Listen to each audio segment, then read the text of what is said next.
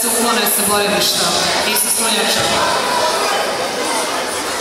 Strunjača 2, sljedeći meč. Masimović Andrija, Makikomi, Miličević, Slada, Žandarmerija. Sljedeći meč, Strunjača 3.